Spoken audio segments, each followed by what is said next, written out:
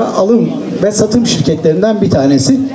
Şimdi de Avrupa platformunda oynayacağımız bütün maçların saha içi satışlarını Türkiye'de üstlenen, Türkiye'de de çok değerli çalışmalar yapan bir medya şirketi. Yılın en iyi medya şirketi Pars Medya Hizmetleri.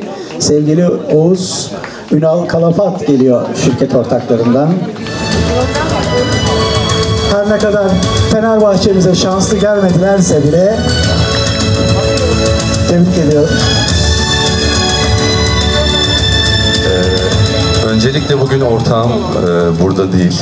Kendisi izole durumda olduğundan dolayı burada törene tek başına Fenerbahçe katılmak- maçından sonra Covid oldu. Aynen Fenerbahçe maçından sonra aslında uğursuz geldi biliyor musun? Konunun benimle alakası. Ya bırak biz Fenerbahçeliler maçtan sonra verem oluyoruz zaten. Yani inşallah bundan sonrası güzel İnşallah. geçer değil mi? Bu ödüle bizi layık gören herkese çok teşekkür ederim ve aynı zamanda bu geceyi düzenleyen arkadaşlarına da ellerine sağlık. Çok güzel bir parti ve hala devam ediyor.